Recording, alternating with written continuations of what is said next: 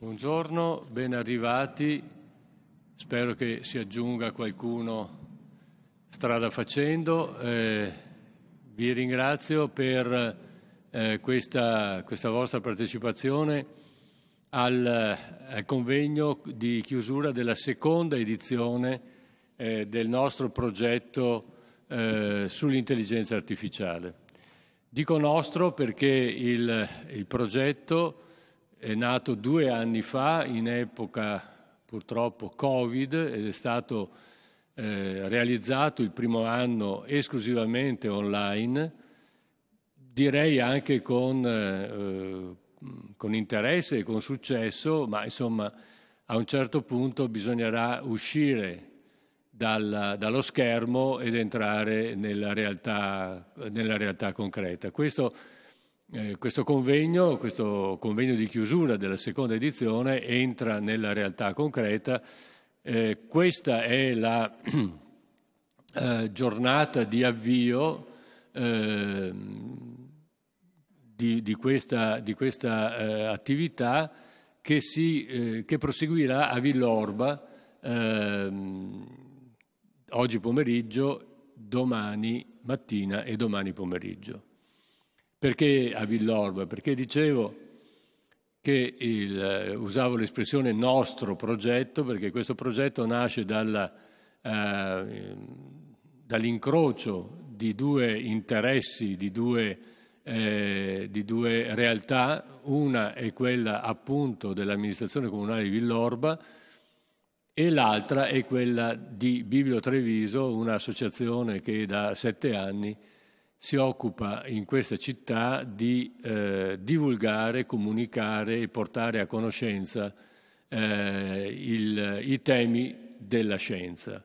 E quindi è stato abbastanza naturale che il comune di Villorba in, incrociasse la, eh, eh la, la, vita e le attività di Bilbo Treviso e costruissimo insieme questo progetto che abbiamo chiamato eh, AIA, Artificial Intelligence in Agora. Lo abbiamo chiamato così perché eh, la nostra intenzione è stata quella di eh, uscire dall'ambito delle eh, eh riflessioni accademiche, dall'ambito delle sole realtà universitarie e portare i temi complessi, complicati, difficili, avvincenti dell'intelligenza artificiale a contatto diretto con il pubblico, con eh, una eh, modalità di eh, discussione, di riflessione e di comunicazione eh, che fossero in grado eh, di far partecipare in modo consapevole il pubblico a questi temi, ripeto, così eh, difficili. doveva esserci qui il il sindaco di Villorba a portare i saluti appunto dell'amministrazione, ma eh, come si suol dire, non credo di dire cose che vanno contro la privacy, ma purtroppo eh, il Covid non è ancora finito. E quindi eh, eh ringrazio eh, Francesco Soligo, sindaco di eh, Villorba, per aver eh, comunque appoggiato eh, la, eh, questa iniziativa che era nata eh, con l'amministrazione Serena e, e che eh, eh, prosegue con l'amministrazione Soligo. Ehm, per questo do subito la parola all'assessore alla cultura del comune di Villorba, Eleonora Rosso, che non solo qui in questa occasione porterà i saluti dell'amministrazione, ma è stata sia nella precedente occasione sia adesso una delle eh, figure più importanti nel sostenere questa, eh, questa attività. Grazie Eleonora, se vuoi avvicinarti. Sì, qua. Sì, togli la mascherina. C'è un negozio a Treviso molto bello, ho fatto anche la fotografia eh, dopo se volete ve la, ve la, mando, è un negozio che fa eh, fototessere. E fuori c'è un cartello con scritto eh, le fototessere si fanno senza mascherina. Ho trovato la cosa molto intelligente.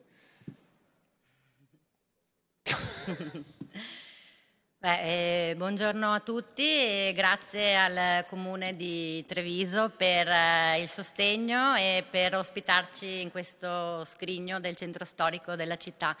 Io appunto, come diceva Luciano, vi porto innanzitutto i saluti del sindaco di Villorba, Francesco Soligo, e di tutta l'amministrazione comunale.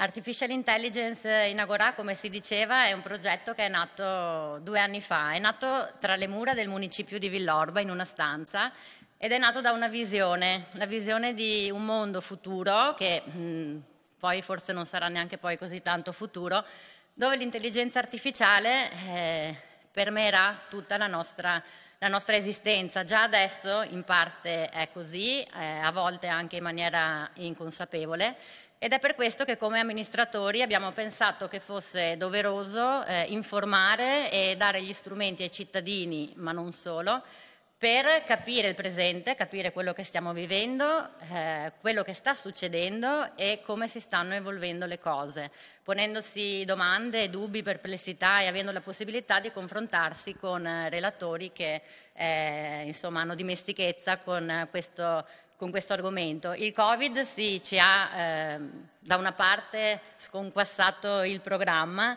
però dall'altra ci ha dato la possibilità di portare avanti un percorso e consolidarlo tramite incontri online in streaming che sono diventati degli appuntamenti fissi, ci hanno permesso di ampliare il pubblico perché eh, non abbiamo avuto un pubblico solamente eh, vilorbese, trevigiano o veneto, abbiamo avuto un pubblico nazionale e anche internazionale perché appunto c'è stata la possibilità di, di seguirci e di rivederci eh, in diretta.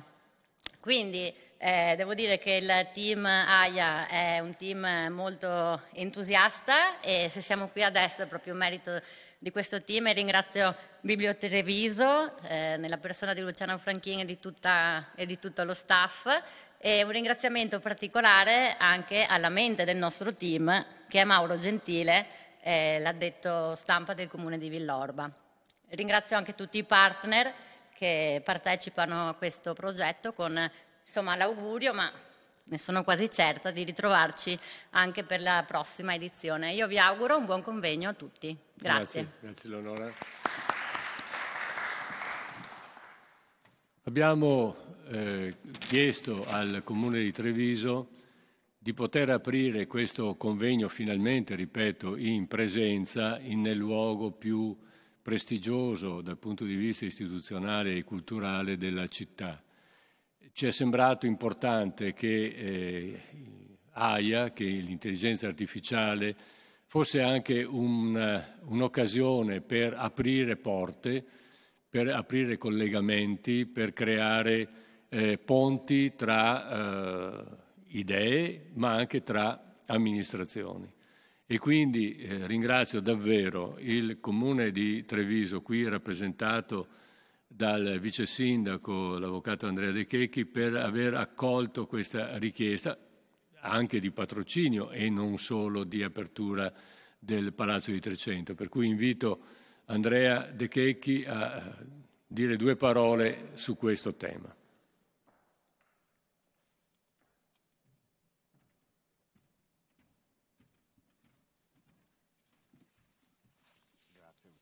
Grazie Vice Sindaco. Beh, devo dire sulla, due parole sul tema dell'ospitalità, non, non, è neanche il caso di, di, di, spenderle, nel senso che è assolutamente un piacere, devo dire, e sono io che ringrazio voi per aver pensato a un convegno qui a Treviso, a Palazzo dei 300, quindi faccio davvero i miei complimenti sia al Comune di Villorba e gli auguri naturalmente di presta guarigione al al sindaco Soligo ai colleghi di giunta che sono qui oggi e a te naturalmente per eh, Biblio Treviso per tutta l'attività che viene, che viene fatta costantemente. Sul convegno poi odierno devo dire, trovo che eh, l'intuizione che avete avuto sia particolarmente lungimirante perché eh, è, è un tema forse non ancora sufficientemente dibattuto, ma certamente è un tema di grande, di grande attualità. E attenzione, è un tema che mh, lo diventerà, eh, lo diventerà, lo diventerà in modo, eh, credo, particolarmente rilevante per tutte le conseguenze, per tutte le opportunità che l'intelligenza artificiale può portare e devo dire anche per alcune magari rischiosità che possono derivarne. Quindi devo dire, quando si, ci si trova di fronte a fenomeni che hanno questo tipo di potenzialità, io credo che le strade siano due. Eh, o ignorarli e evidentemente essere poi destinati a subirli, ovvero conoscerli, approfondirli e in qualche misura riuscire a gestirli. Allora si riescono anche a trarre tutti quegli elementi di positività che da un fenomeno in fortissima crescita come quello di cui stiamo parlando eh, ne possono derivare. Eh, gli eventi, eh, chiedo scusa anche per la banalità del lessico, ma o, o li cavalchi o ne vieni cavalcato, eh, non, ci sono, non, ci sono, grandi alternative. Così.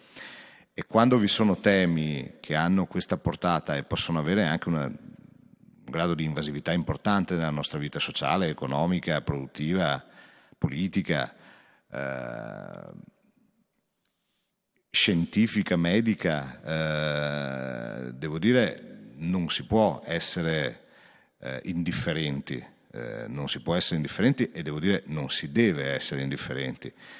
Quindi l'intuizione di spendere del tempo, spendere delle risorse, spendere della, dell'intelligenza per studiare con l'ambizione di comprendere e di coordinare la crescita, l'evoluzione di determinati eventi, è elemento fondamentale se non vogliamo trovarci qui magari fra qualche anno ad un convegno dove dobbiamo parlare di porre delle, delle pezze a una situazione che ci è scappata di mano. Quindi trovo che sia davvero cosa acuta. Eh, e devo dire, non, eh, mi piace anche l'idea di avere e di ospitare dei convegni non convenzionali, nel senso eh, di intelligenza c'è bisogno, sia essa artificiale che naturale. Il, eh, e, per, e, questo bisogno può essere colmato solamente dalla discussione, dallo studio, dall'approfondimento. Eh, situazioni complesse necessitano anche di eh, valutazioni ricerche complesse, il che non significa che poi la trasmissione di queste idee o di queste ricerche deve essere un messaggio criptico, tutt'altro, l'hai detto tu prima, eh, il profilo non deve necessariamente essere cattedratico, ma attenzione che la divulgazione facile, semplice, comprensibile di un messaggio non significa assolutamente che quello che viene divulgato sia semplice e facile e quindi io credo che a temi complessi bisogna mettere sul tavolo soluzioni, eh, approfondimenti complessi. Spendere la complessità non è sempre facile, ma diventa assolutamente opportuno. Quindi io sono convinto che in questo convegno, che oggi vede una ventina di persone, salvo quelle collegate, eh, debba in qualche modo spingerci a ragionare ancora di più, a spingere ancora di più, a investire ancora di più in questa materia perché i prossimi convegni in persona, in presenza o da remoto siano sempre più al centro dell'attenzione perché questa tematica merita di essere al centro dell'attenzione per gli sviluppi non solo imprenditoriali ed economici che magari sono quelli di primo acchito legati ad alcuni degli elementi che ci vengono in mente, ma per quello che questo tema può poi portare alla nostra società intera. È importante conoscere i fenomeni per riuscire poi a renderli più armonici, più coerenti con la vita che stiamo vivendo e con quella che auspichiamo i nostri figli vorranno vivere. Grazie. Grazie a te, grazie a te davvero. Il prossimo relatore sarà Andrea De Checchi comunque. No, no, assolutamente. Anzi, devo chiedervi, io mi scuso perché no, non vorrei essere eh, contraddittorio con quello che ho appena detto, però purtroppo gli impegni del sabato mattina ahimè sono davvero tanti, quindi non riuscirò a fermarmi se non qualcosa. salutare gli altri due amici che dovranno parlare dopo di me e dopo devo chiedervi scusa, ma no, certo, devo fare certo. un altro giro. Grazie. Grazie Andrea, grazie Vice Sindaco. Eh, sì, è, è, è, un po' così la questione, nel senso che eh, come, come, ha accennato adesso il Vice Sindaco di Treviso, ci siamo eh, eh posti l'obiettivo della divulgazione, ci siamo posti l'obiettivo della informazione, ma partendo da un principio inderogabile, e cioè che l'informazione che deve essere divulgata, le, il pensiero che deve essere divulgato, deve essere divulgato da persone competenti, da persone che non frequentano il talk show di eh, AIA, eh, ma frequentano la ricerca, frequentano lo studio e proprio perché sono competenti sono in grado di dire cose complesse in modo comprensibile. Questo è il nostro, eh, il nostro progetto, diciamo. No? Non vogliamo ridurre eh, la, la serietà e l'importanza del tema a delle semplici battute, vogliamo che il tema sia un tema affrontato in tutta la sua difficoltà nei modi per renderlo accettabile, comprensibile e uh, utilizzabile anche. Utilizzabile. In questo percorso di AIA noi abbiamo incontrato eh, alcune istituzioni che ci hanno, eh, che ci hanno aiutato, eh, dicevo del Comune di Villorba, dicevo del Comune di Treviso e, e la provincia. La provincia di Treviso fin dal primo momento è stata una istituzione che è venuta al nostro fianco, ci ha aiutato in modo pratico con alcune eh, possibilità eh, concrete e ci ha eh, sempre sostenuto sia nella figura del Presidente Marcon, che ringrazio, sia nella figura delle, degli assessori, si chiamano consiglieri, no? perché eh, in provincia si chiamano consiglieri. E quindi eh, non è per mera formalità, ma è perché effettivamente è così. Eh, abbiamo avuto al nostro fianco il consigliere barra assessore alla cultura Roberto Fava della provincia che vorrei qui eh, al mio fianco un attimo. Grazie.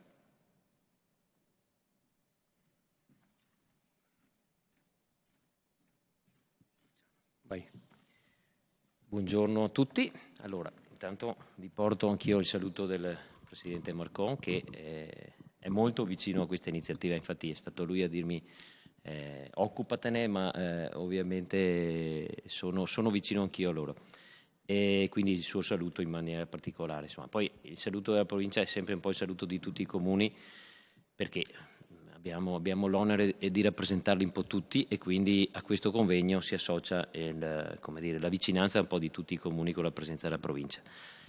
Ehm, Beh, eh, cosa posso dire? Dopo quello che ha detto, ha detto, il vice sindaco di Treviso e con questa, questa riflessione e ragionamento che ha fatto non, è, non, c'è molto altro da dire, se no... Non sentirti esonerato. No, non mi sento esonerato perché ho due, due riflessioni ho comunque da farle. Intanto, intanto sposo, sposo, la battuta che di intelligenza c'è molto bisogno, quindi, quindi questo, questo, convegno speriamo che un briciolo in più a qualcuno lo faccia, lo faccia arrivare. No, e, al di là di questa battuta è veramente un plauso alla vostra alla vostra iniziativa che apre, che apre un mondo che eh, ovviamente è lì, è latente, esiste, esisterà sempre di più e, e, e forse per qualcuno non verrà, non verrà, neanche mai molto compreso, insomma, perché quindi la prima riflessione che faccio è che la vostra iniziativa è utile soprattutto alle generazioni che hanno già una certa età perché se pensiamo che le generazioni nuove eh, su questi temi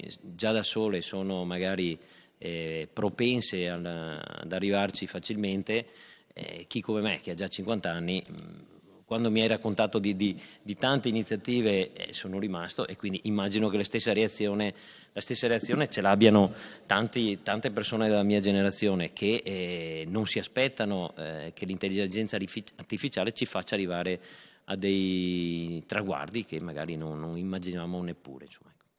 E questa è la prima riflessione.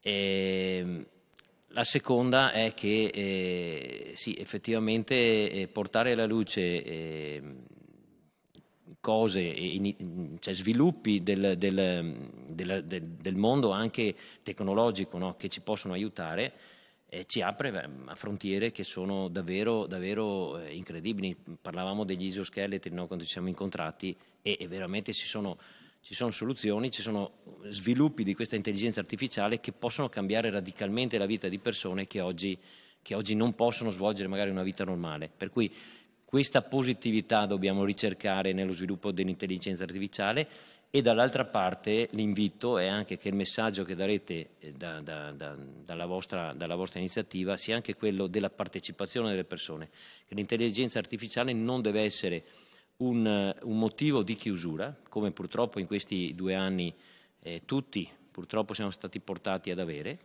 e anche di divisione, perché poi non parliamo di, divisi- di, di quello che attraversato i due anni di Covid, ma di chiusura, ma che l'intelligenza artificiale deve essere un, un, um, uno stimolo all'apertura e alla partecipazione, cioè non far interpretare lo sviluppo dell'intelligenza artificiale come una cosa che mi consente di restare ancora di più eh, rinchiuso in me stesso a casa mia senza pensare al mondo che sta attorno a me, ma diversamente, al contrario, invece deve essere uno stimolo in più per aprirmi al mondo, proprio per eh, per approcciare tutti questi temi in maniera attiva e non in, maniera passiva. Quindi l'invito che faccio allo sviluppo della vostra iniziativa è anche questo, parlate alle persone in modo partecipativo e non in modo mm, chiuso, insomma, perché purtroppo vediamo tanti giovani che eh, sviluppando eh, temi di, di, di attività eh, non dico di intelligenza artificiale, ma di attività tecnologica, si chiudono in se stessi. Per cui io spero che il, pass- il, il, il processo di, questa, di, questo sviluppo sia anche quello della partecipazione. Ecco. Solo questo volevo dirvi, vi faccio i complimenti e che il convegno sia un convegno eh, positivo e che e porti il messaggio che dovete portare. Grazie. Grazie, grazie, grazie Roberto. Eh, sì, un po' alla volta vedo che arriva anche uh, qualcun altro, mi, mi, sono contento, d'altra parte il, eh, diciamo, il, convegno vero e proprio inizia fra qualche, fra qualche minuto e, e, quindi abbiamo ancora qualche minuto di, eh, di saluti eh, ufficiali eh, che eh, sono assolutamente importanti. Io ritengo sempre che i saluti ufficiali eh, sono avvertiti dagli amministratori o da chi li porta come un dovere, ma sono importanti. Sono importanti perché segnalano sempre la presenza della comunità, della città, dentro un'attività di eh, un'associazione o di un gruppo e, e quindi è interessante questo, eh, questo aspetto. Eh, vorrei approfittare di questi um, pochi minuti per, eh, prima di dare avvio al convegno vero e proprio, per chiedere, è un po' irrituale questo, ma se il comandante del 51 Stormo vuole dire due parole su questo tema, visto che prima accennavamo all'uso dell'intelligenza artificiale per far volare le persone, cosa ne dice? Viene? Eh? Sì, cioè, ci mancherebbe altro. Io la ringrazio per essere qui anche perché il, il mondo eh, della, dell'aeronautica è forse quello che maggiormente è avanti no? In, nell'uso di, queste, di, questi pensieri e credo che lei possa portarci anche dire, una sorta di documentazione Innanzitutto grazie, grazie, per l'opportunità e ovviamente eh, un ben fatto per quello che, che, state facendo. È un mondo eh, molto complicato, come si diceva, complesso e quello che probabilmente si nota è che molte volte l'essere umano è portato per natura a vedere i cambiamenti un po' con sospetto, quindi c'è un po' di resistenza e molte volte vediamo queste cose nuove come un potenziale cavallo di Troia e quindi siamo sicuri che farà bene, farà, ci porterà del bene o del male. Eh, quello che sicuramente eh, ci può dare è un aiuto a 360 gradi nell'ambito della medicina, nel, nell'ambito aerospaziale, in, in, tutto, anche nell'ambito scolastico. E questo l'abbiamo visto soprattutto durante il, il lockdown, quello che, eh, che ci può dare. Quindi sicuramente è una cosa positiva con cui dobbiamo imparare a convivere, perché, perché appunto eh, è eh, un mondo che eh, è portato ad aiutare l'essere umano. Ah, ok. Quello che è importante eh, secondo me capire è che non dobbiamo soltanto eh, focalizzarci sul mero aspetto tecnico dell'intelligenza artificiale, dobbiamo essere in grado di portare avanti appunto l'implementazione di, questa, eh, di, questo nuovo mondo anche da un punto di vista eh, giuridico, normativo. Quello, quello, è importantissimo, perché altrimenti ci troviamo poi, o potremo trovarci, che da un punto di vista tecnologico siamo pronti, da un punto di vista implementazione pratica siamo pronti, ma poi ci scontriamo con tutto un mondo invece normativo legislativo che ci impone dei freni e quindi potremmo essere diciamo, in ritardo con quello che invece deve essere già pronto sul tavolo nel momento in cui portiamo avanti queste iniziative l'abbiamo visto, eh, lottiamo continuamente contro la privacy, eh, contro molte altre, eh, molte altre cose. E questo eh, appunto è, quello, è la, secondo me la vera e propria sfida, è quello non solo di portare avanti l'intelligenza artificiale da un punto di vista tecnico, ma eh, portarlo avanti parallelamente con tutte le altre realtà che regolano la nostra vita e soprattutto quella eh, normativa legislativa, certo. perché questo è, è, è, poi sarà il vero problema. Eticamente, moralmente, dal punto di vista legislativo potremo veramente impiegare quello che, che stiamo studiando e quello che magari abbiamo eh, trovato e realizzato? Questo è, è un mondo che è, è, della sfida che probabilmente eh, dobbiamo condividere con i nostri legislatori. Grazie, grazie. molto gentile.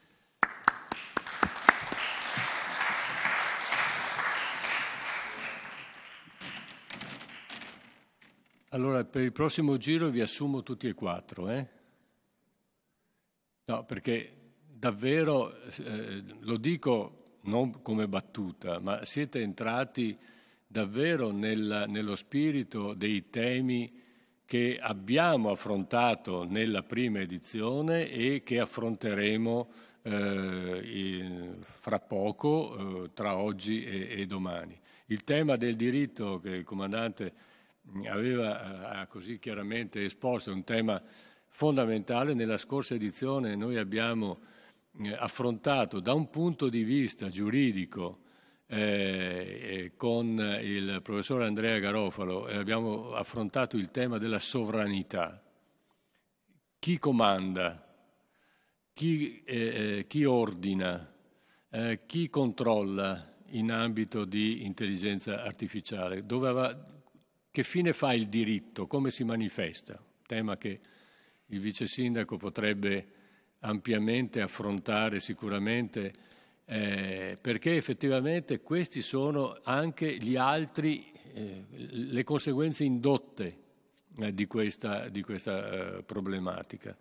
E quindi il problema della, della sicurezza, della cyber security. Eh, noi oggi eh, siamo assolutamente esposti a, a queste a queste capacità che qualcuno ha di interferire e intervenire eh, sulla nostra quotidianità, oltre che sulle eh, attività a livello anche governativo. Insomma, avete visto ultimamente ci sono stati degli, eh, degli attacchi importanti ai sistemi di controllo eh, informatico dei governi, compreso il nostro.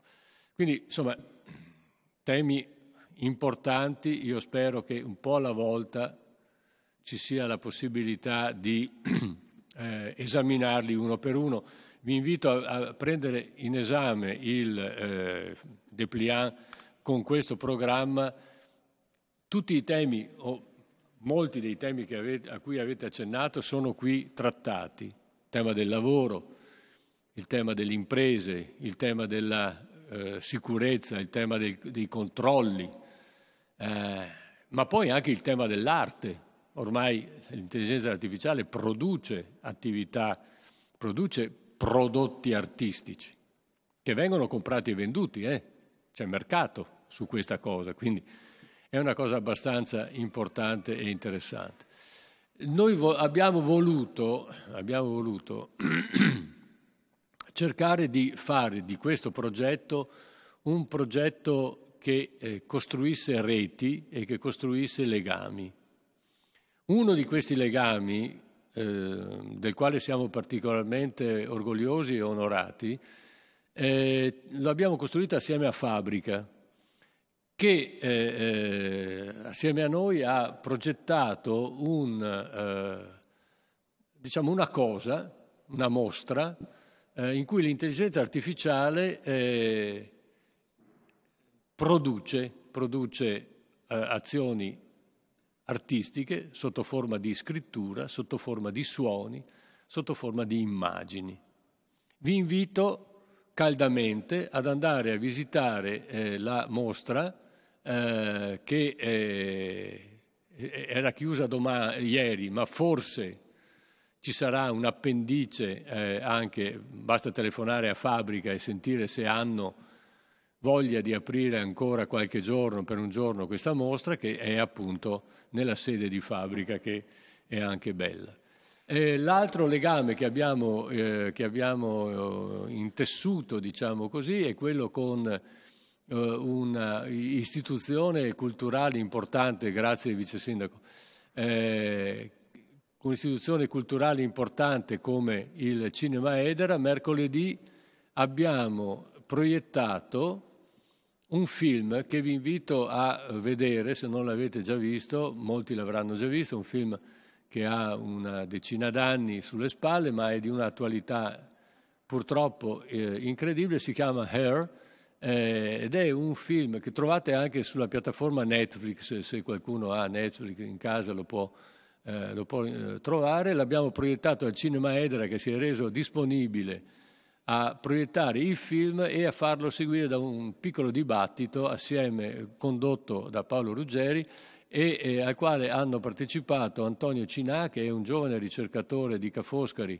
eh, in, eh, sui temi del machine learning, e eh, un regista, un giovane regista che noi eh, abbiamo conosciuto, noi come Biblio Treviso abbiamo conosciuto in altre occasioni, si chiama Alessandro Padovan, che eh, hanno parlato di questo Her, questo film dal punto di vista del cinema e dal punto di vista dell'intelligenza artificiale. Il film racconta in breve eh, una cosa che può capitare, che forse è capitata, e cioè di un giovane eh, scrittore eh, che si innamora di un sistema operativo e quindi chiacchiera, parla, fa sesso con un sistema operativo. Sistema operativo ovviamente di intelligenza artificiale, sistema operativo che eh, funziona con gli algoritmi. Ma è una cosa così strana? Diceva il comandante, ma insomma siamo chiusi, no, rimaniamo chiusi nel nostro, nella nostra cameretta, noi e il computer, non è il caso di uscire. Beh, insomma, eh, si può anche avere un rapporto con un sistema operativo? Domande inquietanti, domande interessanti che forse varrebbe la pena di affrontare. Noi le abbiamo affrontate, ripeto, mercoledì scorso al cinema eh, Edera. Ecco, eh, credo di aver dato così un panorama di quel che è stato, ma vorrei anche dare un, una breve, una breve, eh, un breve cenno prima di avviare il convegno di questa mattina eh, su quello che eh, accadrà. Oggi pomeriggio parleremo di eh, profilazione, di controllo, eh, di cyber security e anche di auto a guida autonoma, grosso problema che sta tra eh, la, eh, le potenzialità tecnologiche e le questioni di carattere giuridico. Il solito banale esempio, se, fa, se, se la macchina a guida autonoma fa un incidente, Di chi è la colpa? Del guidatore che non c'è perché è a guida autonoma, dell'algoritmo, me la prendo con l'algoritmo, con chi lo ha scritto. Eh, bisognerà cambiare anche tutta la strategia assicurativa in questo, in questo ambito. Eh, parleremo eh, sempre oggi pomeriggio di denaro. Eh, abbiamo intitolato questa sessione Follow the Money, segui il denaro, un denaro che è sempre più eh, virtuale, eh, che è, sempre meno cartaceo, eh, che è costruito talora in modo artificiale eh, da algoritmi e da sistemi di costruzione del denaro stesso.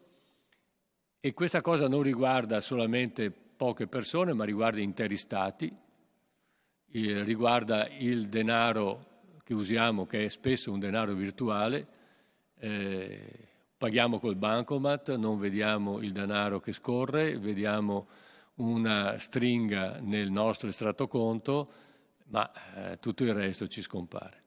Domani parliamo di arte, domani mattina parliamo di arte, arte figurativa e musica, entra, entrambe eh, sotto, diciamo, come dire, il, il controllo dell'intelligenza artificiale. Parleremo di sanità.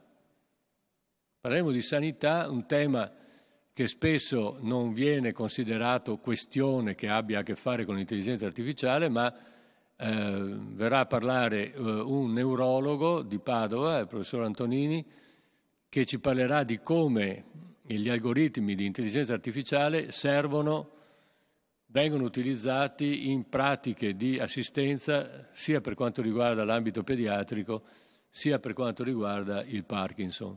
Quindi temi non, non, non di poco conto, sarà affiancato, ci sarà anche con lui anche un medico di medicina generale, famoso medico di famiglia, cosa c'entrano i medici di famiglia con l'intelligenza artificiale, ormai bisogna capire, ce lo racconterà il dottor De Gobbi, che anche il medico di famiglia eh, interviene, utilizza, opera attraverso eh, sistemi di intelligenza artificiale.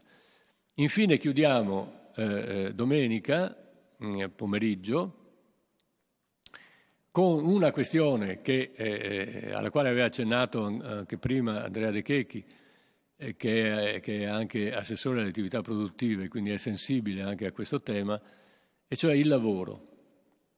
Cambio lavoro, cambia il lavoro, che ne è del lavoro, dei lavoratori e delle nuove professioni eh, sotto la spinta dell'intelligenza artificiale.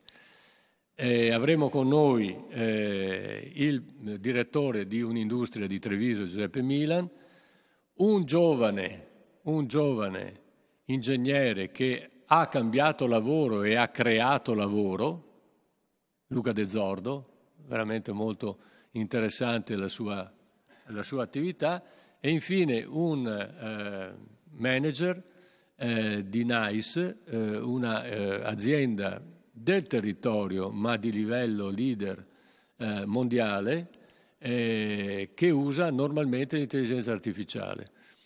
E la, la, produce, la utilizza. NICE è un'azienda che si occupa di aprire e chiudere i cancelli, quando si aprono e quando si chiudono. Non sempre accade questo, anche mi pare che qualcuno questa mattina abbia avuto qualche difficoltà ad aprire e chiudere i propri cancelli.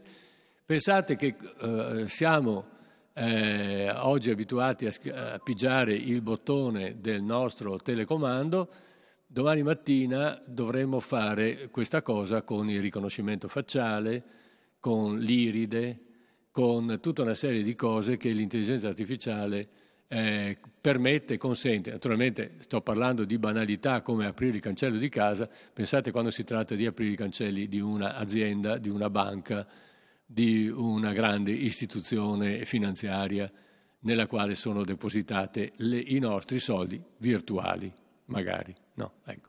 Questo per dire come AIA vuole intercettare i temi di intelligenza artificiale in tutte le loro declinazioni.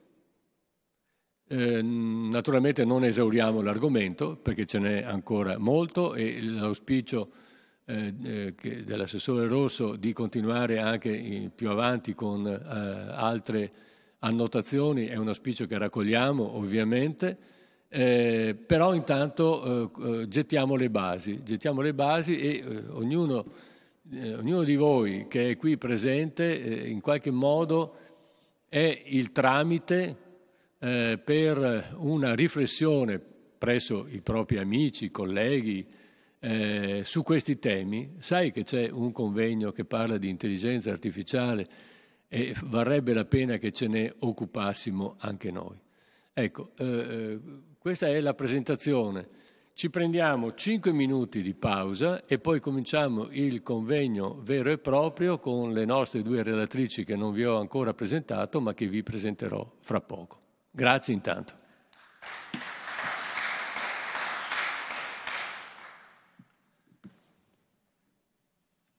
Non approfittate per andare via, eh? lo so che succede. Eh.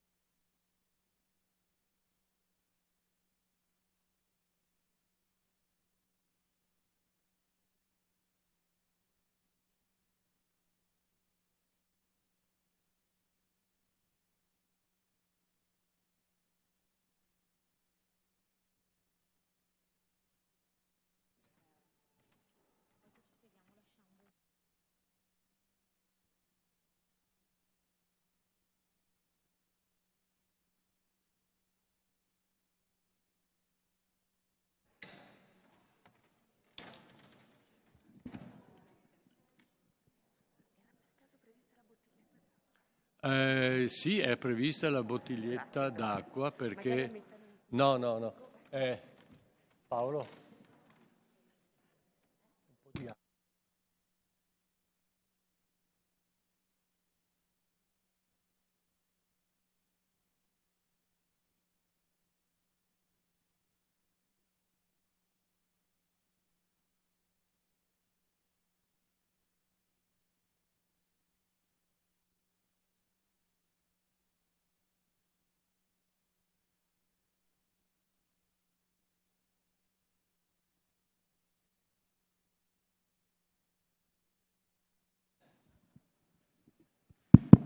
Aperto? Bon. Buongiorno, buongiorno, a tutti, grazie Preside Paul di essere qui, Preside del Planck. Eh, Planck è un istituto eh, tecnico che è, eh, lo dico non perché è qui Emanuela Paul, lo dico perché è vero, è un istituto tecnico all'avanguardia nella eh, non solo nella didattica in generale, ma anche nella riflessione attorno ai temi eh, di cui ci stiamo, ci stiamo, occupando. Grazie per essere, per essere, qui. È stata nostra ospite anche nella precedente edizione con, una, eh, con un intervento online molto, molto apprezzato appunto sui temi della didattica e dell'intelligenza artificiale in un istituto superiore. Bene. Diamo l'avvio adesso al nostro eh, convegno vero e proprio, dopo i saluti, dopo le presentazioni. E eh, eh, come avrete visto guardando il, eh, il flyer, il pieghevole, eh, cominciamo eh, con una, con una, abbiamo scelto di cominciare con una logica eh, la logica è quella di dire eh, le prime relazioni devono eh, mettere i paletti, i paletti di quello eh, che poi avremo eh, modo di conoscere eh, successivamente. E quindi avremo, abbiamo bisogno di paletti di carattere tecnologico, dove siamo dal punto di vista tecnologico, e abbiamo bisogno di paletti che in parte sono stati già accennati in, una, in uno degli interventi precedenti, e cioè paletti di carattere etico. Eh, come ogni eh, attività umana, in particolare le attività tecnologiche, eh, hanno bisogno, diciamola in termini molto, molto banali, insomma, hanno bisogno di una guida in qualche maniera, o comunque di capire eh, dove stanno, dove stanno eh, gli uomini quando adoperano la tecnologia. E su questo tema appunto parleremo di etica con una delle nostre relatrici. Tecnologia mm, di intelligenza artificiale, il punto della situazione, etica per capire di cosa abbiamo bisogno per eh, intervenire attraverso, mediante l'intelligenza artificiale. Le nostre due relatrici, che ringrazio eh, calorosamente, sono eh, la professoressa Teresa Scantamburlo, qui vicino, eh, è una ricercatrice dell'Università di Ca' Foscari, eh, presso il Dipartimento di Scienze Ambientali, Statistica e Informatica, dipartimento lunghissimo, ma insomma eh, dice, dice, tutto quello che c'è da capire e eh, ha lavorato all'European Center eh, for Living Technology di Venezia, all'Università di Bristol e a lei chiederemo fra poco di fare un po' il punto della situazione dove siamo oggi con l'intelligenza artificiale e seguiremo la sua relazione. Poi, per quanto riguarda l'ambito dell'etica, peraltro anche la dottoressa Scantamburlo eh, si occupa anche del versante etico perché non è, mm, eh, non, è, non è, possibile parlare di tecnologia senza etica, è vero Teresa? Potete togliervi la maschera, eh? Sì, eh, giù la maschera. E, mh, invece con la professoressa De Vecchi eh, che eh, ha un dottorato in teologia morale e la, preso presso l'Università eh, Pontificia Gregoriana e insegna all'Università Cattolica del Sacro Cuore. Eh, anche lei, eh, come, come Scantamburlo, ha, ha pubblicato moltissimi, moltissimi testi, moltissime cose che potete trovare nel, eh, nei siti che le riguardano e quindi inutile che io vi elenchi eh, altrimenti perderemo molto tempo e preferisco ascoltare le loro, le, le loro relazioni e la loro viva voce. Eh, e quindi si, si occuperà mh, propriamente del versante etico, eh, ma eh, in realtà non faremo delle distinzioni eh, nette e secche, ma avremo modo di eh, discutere insieme eh, su queste, su, queste, tematiche. Se vuoi mettere qui sul tavolo. Ah, sono, se avete bisogno di un po' di acqua, ve la... No, no, sta, sta.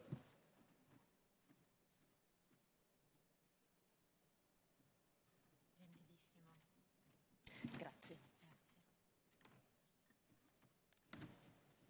Io ringrazio particolarmente della pazienza la professoressa De Vecchi che ieri sera venendo da Milano in treno si è trovata bloccata per quattro ore a Verona e devo dire che, insomma, eh, quando l'abbiamo recuperata alla stazione di eh, Mestre era assolutamente pacata, serena eh, e non irata come uno si aspetterebbe, ma insomma, grazie per essere, per essere, qui davvero. Grazie a voi dell'invito. No, no, ma insomma. Allora, eh, Teresa Scantamburlo. Il tema è, eh, facciamo il punto no? della situazione. Dove siamo oggi eh, con l'intelligenza artificiale? Facendo questa piccola premessa, nel senso che se facessimo questa domanda domani mattina, la risposta sarebbe probabilmente già diversa. Mm, è vero? Sì. Beh, però diciamo si possono dire alcune cose, Perfetto. alcuni nuclei. Grazie. Allora, intanto grazie Luciano eh, per l'invito. E e appunto l'amministrazione comunale per aver un po' organizzato e l'associazione ehm, che prima menzionava appunto Luciano. E, ehm, allora proverò un po' a dare qualche coordinata, ovviamente il compito non è facile anche perché giustamente prima uh, si è creata un'aspettativa no, abbastanza alta e come diceva appunto Luciano e anche i primi alte, eh? eh beh certo.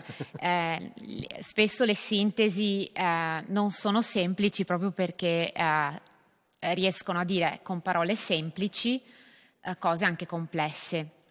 E oggi eh, per fare un po' il punto su che cos'è l'intelligenza artificiale ho preferito anziché andare subito a, a così, raccontarvi scenari futuristici o uh, applicazioni eh, che davvero sorprendono, uh, ho, ho preferito riportare al nucleo un po' centrale di alcune tecnologie che oggi sono alla base di tantissime applicazioni eh, che eh, suscitano meraviglia e anche eh, soddisfazione rispetto un po' al progresso che si può raggiungere.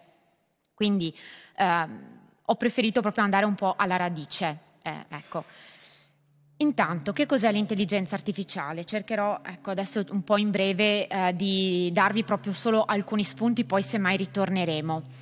Partiamo da una definizione. Eh, come in tantissimi settori non c'è una definizione universale eh, che è ehm, condivisa dalla comunità scientifica.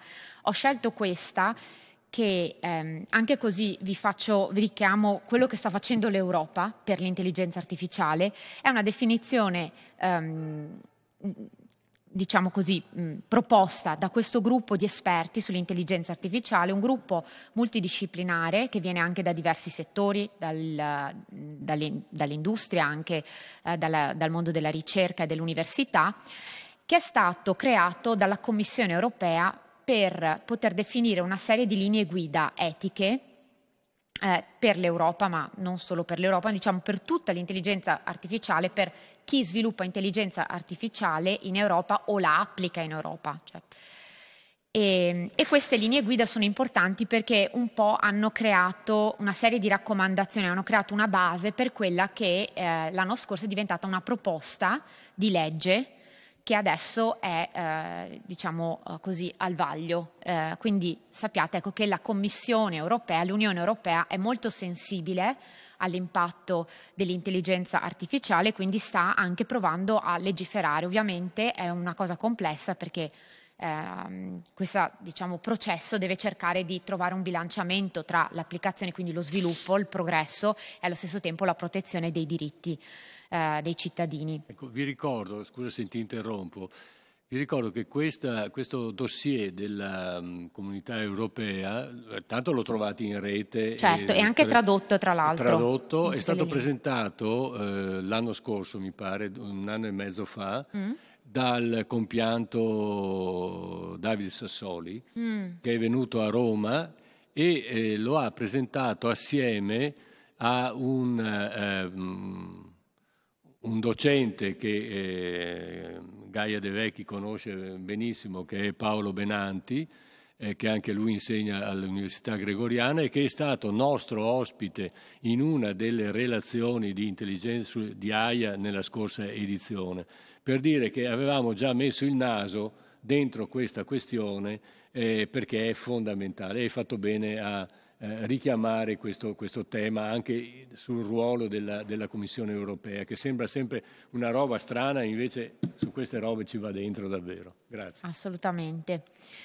E, ehm, prendo questa definizione che diciamo non, è, mm, non condivido diciamo, al 100%, però eh, credo sia importante perché richiama alcuni, eh, alcuni elementi eh, fondanti eh, e che ci aiuta a capire che cos'è l'intelligenza artificiale. Intanto, eh, quando parliamo di intelligenza artificiale, parliamo di sistemi. Allora, intanto parliamo di un'area di ricerca, di un campo di studi, dove si sviluppano eh, sistemi, algoritmi, che sono orientati ad un obiettivo. Quindi la nozione di obiettivo intanto è fondamentale. E per raggiungere questo obiettivo, questi sistemi interagiscono con l'ambiente circostante, quindi scambiano informazioni, il che implica che ci devono essere dei dispositivi, sensori, attuatori, no, che permettono quindi di, eh, diciamo, la raccolta dati dall'esterno, ma anche poi la produzione, la, diciamo, la, il fornire eh, l'informazione generata dal, dall'algoritmo all'esterno. Quindi c'è un continuo scambio e eh, per raggiungere questo scopo, questo obiettivo, questi sistemi eh, diciamo, sono elaborati in modo tale che debbano scegliere, debbano agire scegliendo eh, diciamo, l'opzione, la, l'azione che permette il raggiungimento dell'obiettivo, o meglio, che massimizza il profitto, l'utilità che è legata a questo obiettivo. Allora vedete che può sembrare molto astratta come definizione, ma è una definizione che si applica a tantissimi sistemi che noi eh, utilizziamo nel quotidiano, tipo eh, il riconoscimento Face ID, eh, chi ha uno smartphone eh, di ultima generazione lo sa, e, mm, è possibile sbloccare il cellulare con un riconoscimento facciale. L'obiettivo è appunto riconoscere il volto del proprietario del telefonino e l'azione è binarie, in questo caso, sbloccare o bloccare o tenere bloccata diciamo, eh, l'interfaccia. E ovviamente anche qui ci sono dei dispositivi, c'è una telecamera che quindi riceve l'immagine e poi c'è il, la, lo schermo del telefonino che diciamo, eh, dice, eh, esprime l'output. Questo diciamo intanto per darvi uno schema, anche per richiamare l'idea che quando parliamo di intelligenza artificiale spesso c'è un fraintendimento e questo fraintendimento è che noi rivediamo o, qua, o ci aspettiamo di ritrovare eh, un'idea, un modello di intelligenza simile a quello umano. Invece no, nel senso che spesso, soprattutto con i sistemi ehm, più performanti, ehm, di intelligente hanno poco, ecco direi, non capiscono, non comprendono eh, il cellulare, eh, il, lo smartphone, quando riconosce il volto, il nostro volto, non è che capisce come ci aspettiamo mh, capisca un umano, un essere umano, non dà senso o significato a quell'immagine. Cioè è in grado di farlo perché è stato progettato per uno scopo, che viene ovviamente espresso in una forma matematica, adesso vedremo anche un po' meglio, e riesce ad agire, cioè scegliere tra un insieme di opzioni possibili quella che massimizza il raggiungimento che ci fa arrivare, diciamo, prima al raggiungimento di quello scopo. Questo non fa altro che replicare in realtà un'idea di intelligenza che noi ritroviamo nell'economia. Quando parliamo di razionalità, ad esempio in economia, noi stiamo parlando di agente razionale, cioè di un agente può essere un'entità qualsiasi, può essere un'automobile o un essere umano, che sceglie l'azione che massimizza, ottimizza eh, il raggiungimento di un obiettivo. Vedete che è molto diverso da quello che un po' forse ci aspettiamo. Oh, adesso, poi, poi magari, sì. credo, lo, lo, dico perché poi riprenderemo questa cosa. Eh, a me piace molto questo ragionamento sull'intelligenza che non è umana dovremmo anche dire che cos'è questa intelligenza umana, nel senso che l'esempio di, di un riconoscimento facciale da parte di un'intelligenza artificiale non è lo stesso del riconoscimento che io ho di un amico. Mm. Eh, quindi non ci metto dentro nessuna emozione, nessuna storia, nessun ricordo. Eh, quello non è un mio amico, no? quello è la faccia che mi deve sbloccare il, eh, il cellulare, questa è la, la, eh, la differenza.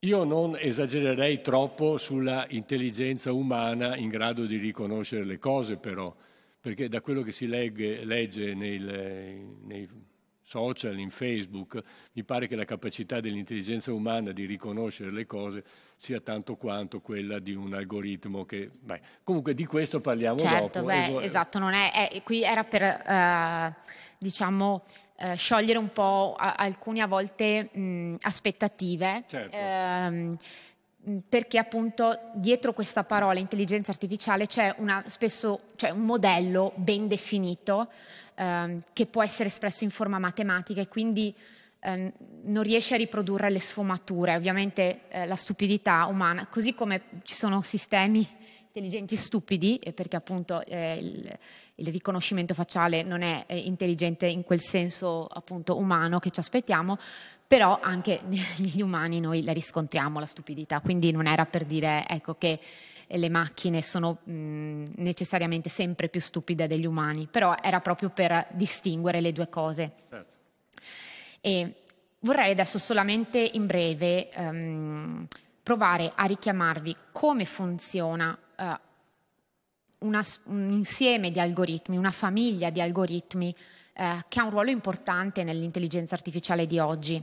Però prima eh, vorrei anche semplicemente richiamarvi alcuni, eh, diciamo così, mh, elementi anche storici, perché l'intelligenza artificiale non è nata oggi. Oggi se ne parla molto e sembra appunto che sia un fenomeno contemporaneo, ma eh, gli studiosi un po' ehm, riconoscono nel 1956, eh, ecco, in questo convegno, in questo, mh, era un workshop in America come un po' la data di inizio, eh, la, eh, il compleanno dell'intelligenza artificiale, in cui appunto è stato elaborato un, un primo progetto che aveva una, mh, mm, diciamo un, un, uno scopo molto ambizioso, da cui ci siamo molto allontanati, perché all'inizio il progetto davvero era quello di provare a descrivere eh, gli aspetti dell'intelligenza umana, dal ragionamento alla, all'apprendimento anche ad aspetti appunto che riguardano il linguaggio, le proprietà del linguaggio, per poterle poi riprodurre in una macchina, simularle, ma per comprendere il funzionamento della mente umana in un certo senso.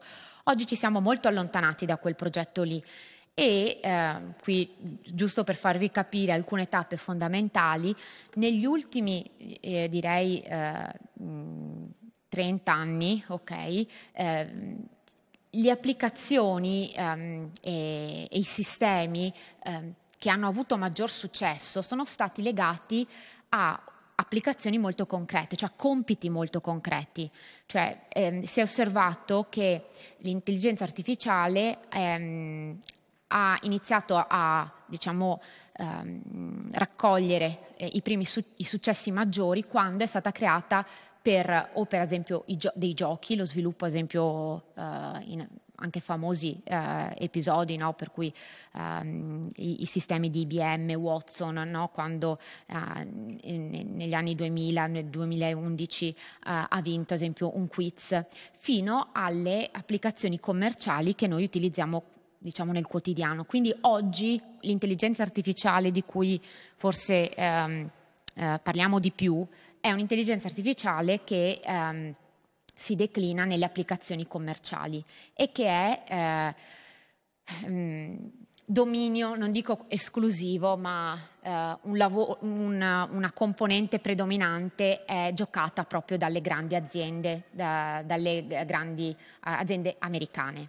E infatti, e, o cinesi, ecco, ci sono dei colossi che detengono una, così, un, direi proprio un potere importante nello sviluppo, perché appunto hanno sviluppato dei sistemi ehm, che intanto raggiungono delle performance molto, ehm, eh, molto elevate e che poi diventano un po' la, il, da traino per tutto quello che è anche la ricerca e l'economia.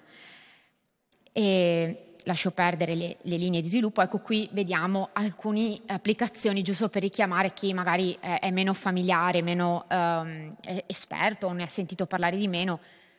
Le applicazioni variano da cose diciamo più eh, eclatanti come le, ehm, le, le auto a guida autonoma a cose più quotidiane come Siri e gli assistenti vocali, a cose diciamo ancora più specializzate eh, come appunto sistemi che vengono utilizzati per la diagnosi delle malattie. Esistono dei sistemi ad esempio per la diagnosi del glaucoma ehm, anche progettati in Europa che raggiungono eh, dei livelli di accuratezza molto elevati, significativi, quasi direi l'accuratezza che possono avere esperti umani e quindi possono essere davvero utili sì, no, su questo, eh, scusa se ti interrompo, ma eh, volevo dire che di questo tema noi parleremo, per chi vorrà essere presente, parleremo esattamente domani, domenica, alle ore 11, perché ci sono eh, delle, delle applicazioni attualmente utilizzate anche eh, in, in, ambiti eh, molto, molto, interessanti a, livello europeo e non solo,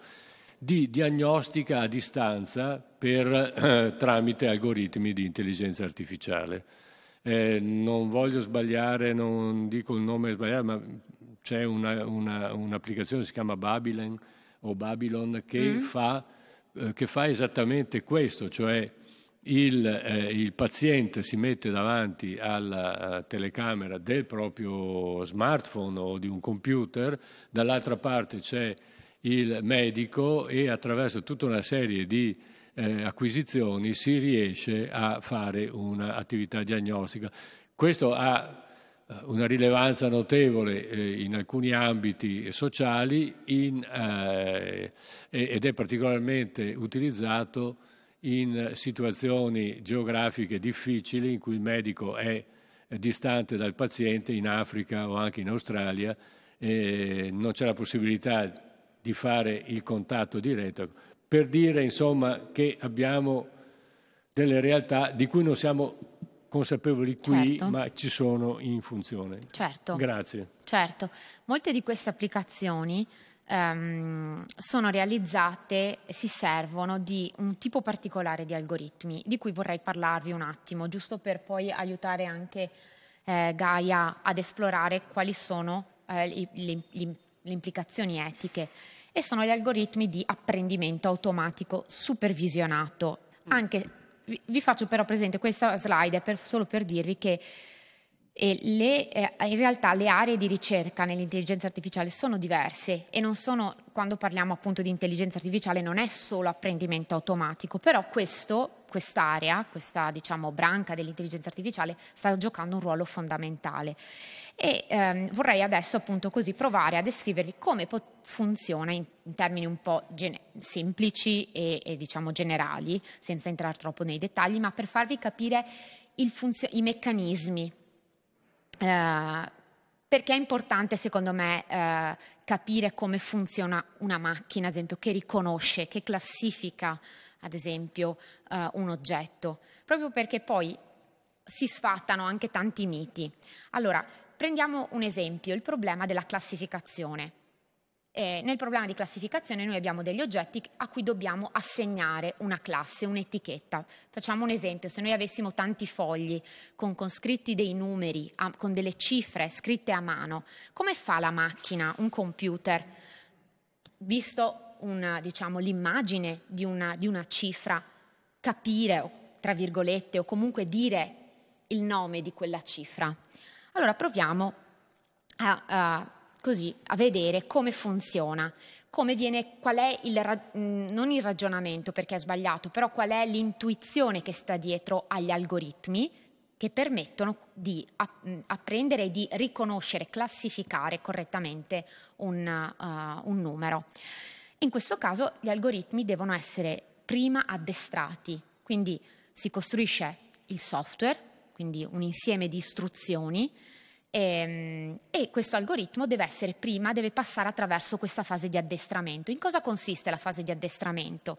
Consiste nel processare, cioè eh, proprio osservare, potremmo dire, prendendo delle metafore, eh, dei numeri, degli oggetti, quindi in questo caso delle immagini di cifre scritte a mano, quindi che possono avere, no, non, non, essere tutte uguali, no? per cui possono essere anche eh, a volte fraintese, e oltre all'immagine viene data anche diciamo, all'algoritmo l'etichetta corretta. Quindi come vedete è come se noi potessimo dare un, per ciascuna imma- un'immagine, per eh, l'algoritmo l'immagine sono un insieme di pixel, sono numeri, a cui viene diciamo, uh, com- mh, mm, accompagnata anche l'etichetta, la classe. Questo rappresenta uno standard perché rappresenta quello che poi l'algoritmo apprende e applicherà poi nel futuro. Lo scopo dell'algoritmo è formulare, individuare una funzione matematica. Una funzione cos'è? È una relazione tra le diciamo, eh, caratteristiche, gli attributi che descrivono, in questo caso l'immagine eh, della cifra, quindi in questo caso i pixel, i numeri che descrivono no? la, eh, la cifra, all'etichetta corretta. Quindi l'algoritmo non fa altro che elaborare questa funzione e questa funzione può essere rappresentata anche geometricamente come una curva, adesso qui ho scelto ovviamente una, una, sem- eh, una semplificazione, ma è una curva che divide tutti questi gli oggetti, in questo caso i puntini possono essere visti come la rappresentazione geometrica eh, del, delle cifre e vengono separate perché l'obiettivo nella classificazione è discriminare, cioè separare gli oggetti quelli che sono dentro eh, ciascuna classe e eh, ovviamente evitare che gli oggetti vengano assegnati alle classi sbagliate. Quindi lo scopo dell'algoritmo è minimizzare l'errore, cioè cercare di assegnare ehm, il più possibile eh, le, i, i, numeri alla classe corretta. Cioè, fammi capire, allora adesso io ho istruito questo algoritmo a riconoscere il numero 2. Esatto. Perché il numero 2 può essere con le sbavature, può essere ci sono tanti modi, ad esempio una volta i primi algoritmi venivano, eh, si davano proprio le regole in un certo senso, no? Mm. Per cui um, poteva, uno pot- potrebbe anche pensare di costruire un algoritmo di apprendimento dicendo c'è una curva, poi c'è una linea uh, dritta, obliqua, poi c'è una, una riga invece orizzontale. Si è visto che questo modo, dando quindi delle regole esplicite, non è efficace. È più efficace dargli, diciamo, lasciare il, l'algoritmo quasi ad individuare quali sono i parametri, le, a diciamo, perfezionare la funzione, noi possiamo dargli diciamo, una famiglia di funzioni. Un po' per conto proprio. Un po' per, cioè un, quel un livello di, c'è un livello di autonomia diciamo, nel individuare qual è la funzione che ottimizza la separazione tra le classi. Ah, questo, questo, è interessante perché finché si tratta di riconoscere il numero 2, vabbè, insomma, Esatto. Si Quando si tratta di riconoscere il pedone che sta attraversando la strada, questo mi pare molto es- interessante ancora di più. Infatti, eh? allora provate a, a pensare, allora, quindi una volta stabilita la funzione, poi viene applicata a cifre, in questo caso prive di etichetta, dove il compito dell'algoritmo è di fare una predizione. Molti degli algoritmi che oggi utilizziamo e che funzionano, eh, nei, ad esempio nelle traduzioni automatiche, funzionano perché riescono a predire e a farlo con un livello di accuratezza molto alto. Provate a pensare però se invece di numeri abbiamo dei profili di persone, dei soggetti umani. E i soggetti umani come possono essere descritti? A seconda dell'applicazione. Noi potremmo avere ad esempio dei curriculum, dei curriculum di candidati e, e questi candidati possiamo, o anche degli studenti, provate a pensare, che devono fare l'ammissione magari al college in America, vengono utilizzati algoritmi simili proprio per questi scopi. E noi dobbiamo magari individuare quali sono gli studenti che hanno il maggiore rischio di diciamo, andare fuori corso, che potrebbero magari abbassare il ranking o il, il prestigio dell'università. Il meccanismo è lo stesso, individuare, quindi dare, prendere dei profili, quindi in questo caso delle descrizioni, il curriculum eh, degli studenti e eh, associare una etichetta, una classe che ovviamente sarà il frutto probabilmente di decisioni o di esiti storici precedenti, l'algoritmo apprenderà ad esempio se eh, una funzione che è in grado quindi di classificare, quindi di distribuire eh, i vari soggetti nelle, nelle classi eh, diciamo di, di, interesse. In questo caso, ad esempio, può essere un'identificazione di alto, medio o basso rischio. Ora, questi algoritmi possono essere utilizzati in tantissime situazioni, che possono andare appunto dal riconoscimento eh, di, eh, di, di volti, ma anche alla raccomandazione.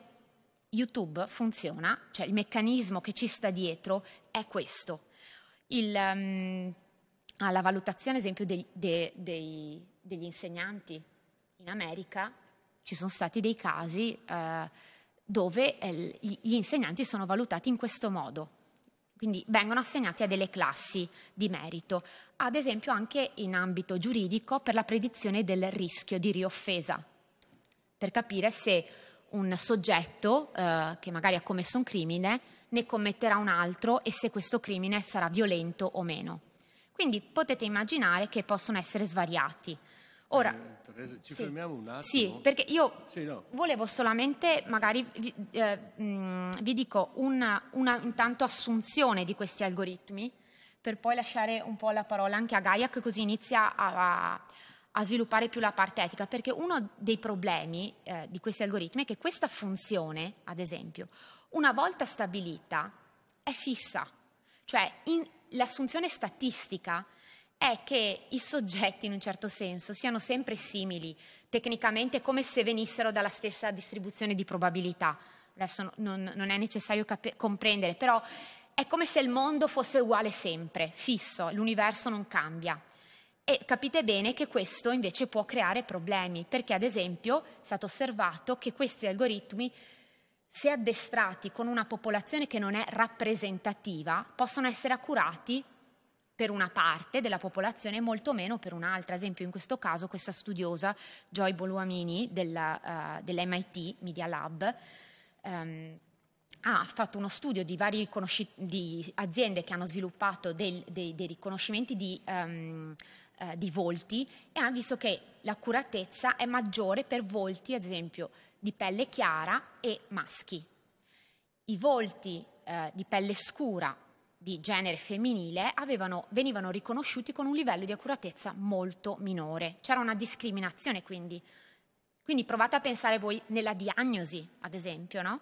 Anche nella diagnosi... Eh, fammi capire questo, non perché l'algoritmo sia di per sé stupido, ma perché eh, qualcuno lo ha addestrato a essere stupido. Cioè non, è, non, non necessariamente no. c'è una colpa, no, diciamo, no, una volontà colpa, di... Però, ma perché non eh, è stata, uh, diciamo, stato... Raffinata la... Non è stata fatta con cura la fase di addestramento, cioè ah, ecco. il dataset, i dati che sono stati dati, utilizzati per addestrare l'algoritmo, non erano rappresentativi.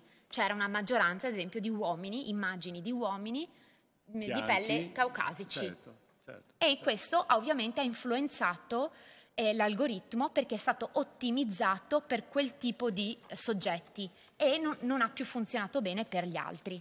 Bon, ci fermiamo un attimo qua perché certo. di carne al fuoco ce n'è abbastanza.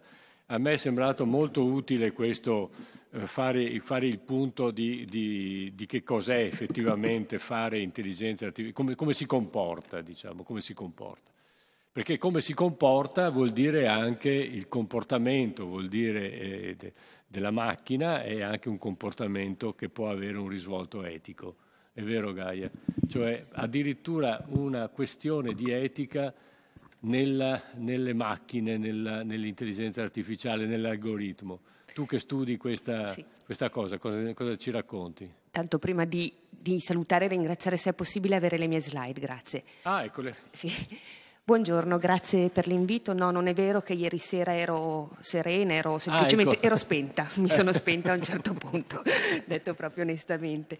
Grazie dell'invito, mi fa molto piacere questa, come direbbero a Milano, la location, molto suggestiva e fa sentirci parte di, di una storia che adesso vediamo come eh, a Milano non avete cose di questo no, genere. non abbiamo eh? cose. Cioè, no, diciamolo non chiaramente. abbiamo niente. e, ehm, sì, eh, Teresa ha già anticipato sì. una serie di questioni che avevo anch'io in mente come, eh, come esempi proprio del, del, quotidiano in cui ci troviamo a, a ragionare di eh, etica e intelligenze artificiali. Io partirei dalle domande classiche, cioè l'etica si chiede che cosa sto facendo, che cosa devo fare, qual è il senso di quello che sto facendo. La prima domanda, e anticipo che non vi darò risposte, ma soltanto domande, perché sono figlia dei gesuiti, quindi a domanda si risponde con domanda.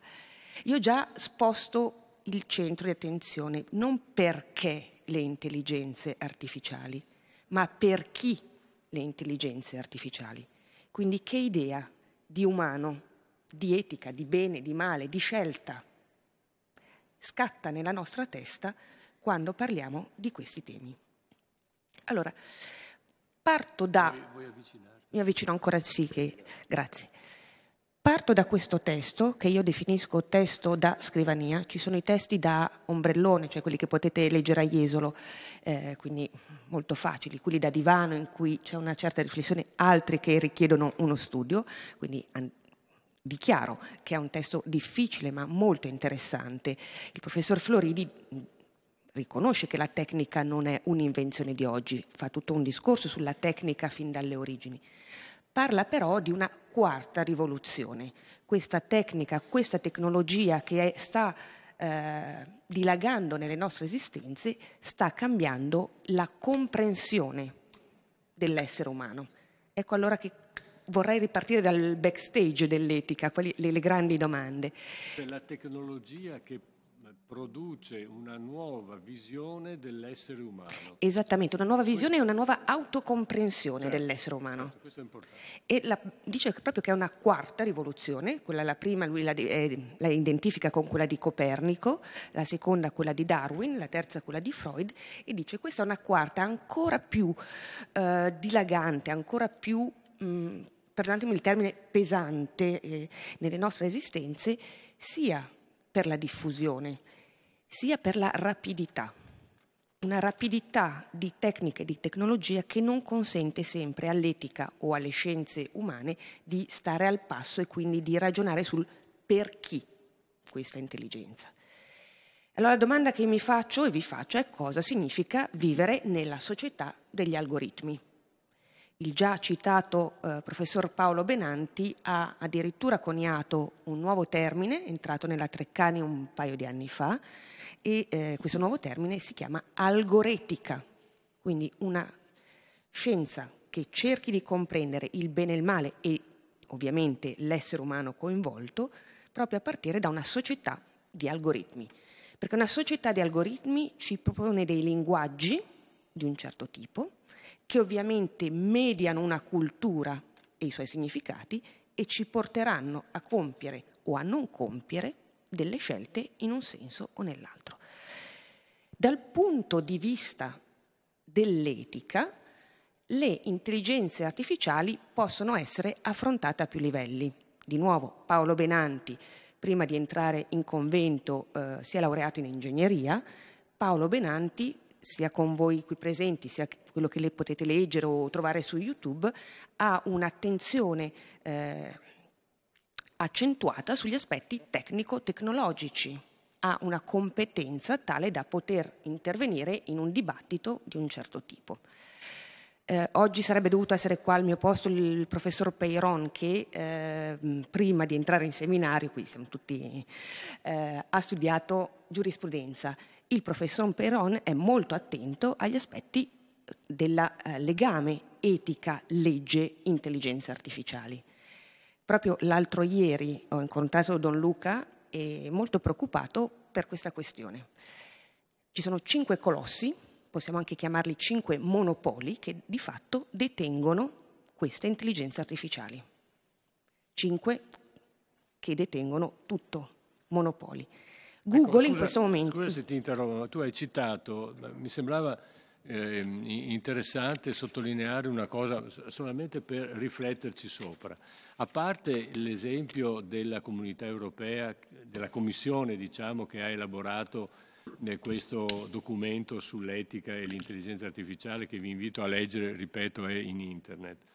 Però non a caso, eh, sia noi nel nostro progetto, sia tu nella tua vita normale di studiosa, eh, abbiamo incontrato e Paolo Benanti e Luca Peiron che sono eh, che appartengono eh, alla Chiesa.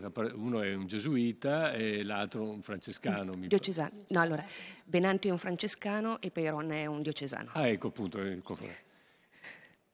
Trovo che sia molto interessante questo fatto che non ci sia una altrettanto forte attenzione da parte del mondo laico nei confronti di queste tematiche etiche legate all'intelligenza artificiale. Comunque, non ma non ci sono tantissimi, eh? O non si fanno vedere? No? Vabbè, dopo... Dopo, dopo, dopo... mi racconti allora. Va bene, andiamo avanti. Per dire Peyron oggi non c'è proprio perché è a Torino a fare un... No, no, ma era solo... Pagato dal governo. Era Chiuso. solo per, per eh, mettere un po' di pepe nella situazione. Comunque dicevo che Peyron l'altro giorno era preoccupatissimo perché Google in questo momento soltanto di cash può acquistarsi tutto il listino della borsa di Londra. Evidentemente questo apre delle questioni etiche immense sul potere, sulle nuove povertà, sui monopoli, sul, sulla libertà. Ecco allora che con me... Sì, ricordiamoci che Floridi era stato nominato da Google nella commissione che doveva affrontare tutte queste tematiche e lui se n'è andato, voglio dire, per coerenza. Allora, questi approcci eh, naturalmente toccano tutte le questioni trasversali che affronterete nei prossimi oggi pomeriggio, nei prossimi giorni, quindi immaginate il tema del lavoro e intelligenze artificiali, evidentemente c'è un livello tecnico, tecnologico, giuridico, economico e quant'altro. Quindi qui cito il lavoro, la sanità, la scuola, ma eh, prima ha citato la, la macchina eh, che, che, si autoguida. Pensiamo a come dobbiamo ripensare il, la grande questione guerra-pace, questione viva in questi giorni, ma che non possiamo più affrontare con quelle categorie che ci arrivano dalla nostra tradizione europea in cui uccidere era avere di fronte il nemico e ne uccidevo uno e vedevo il nemico che moriva, vedevo proprio il corpo morire.